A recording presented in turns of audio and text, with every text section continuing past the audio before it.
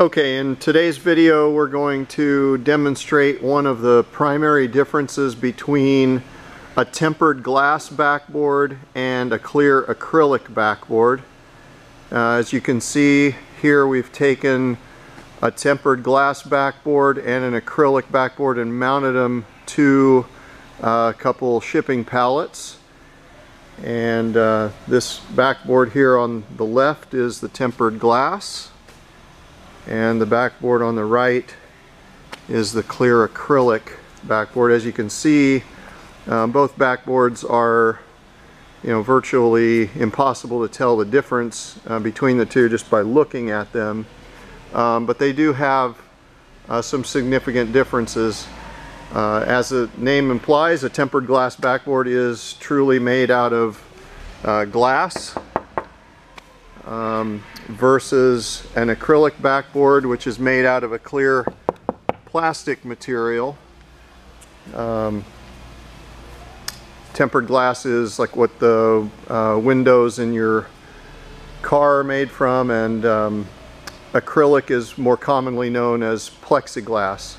So in this video we're going to uh, demonstrate the difference between these two in, in terms of vandalism. Uh, tempered glass backboard is much more susceptible to uh, vandalism in terms of rock throwing and we're going to demonstrate that here today. So what we have here is just a typical rock that you would see, you know, pick up at any uh, playground. And we're just going to show what happens on an acrylic backboard when a rock like this is thrown at it.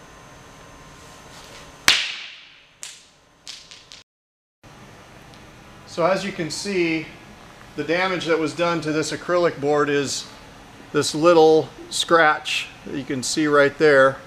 And that's the extent of the damage from that rock throw. Um, we generally recommend acrylic backboards um, for playground use. This is very little damage for that type of vandalism. And um, next we'll show what happens to a tempered glass backboard when the same rock is thrown. And here's what happens to a tempered glass backboard when a rock is thrown.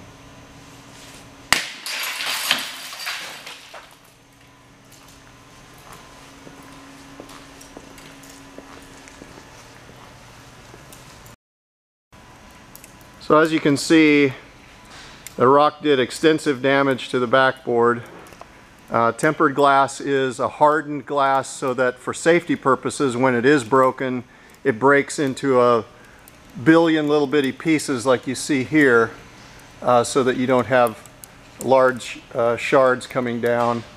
Um, but again, this is why we typically recommend clear acrylic backboards for commercial or playground settings where uh, there's unsupervised access uh, to the backboard. If, if you're looking to put a clear backboard on a city park or playground, we always recommend clear acrylic backboards like this one versus tempered glass for this very reason. Their, their acrylic backboards are much, much more resistant to vandalism. So we hope this has been an informative video on the differences between clear acrylic and tempered glass. For more information on our full product line, check us out at www.firstteaminc.com.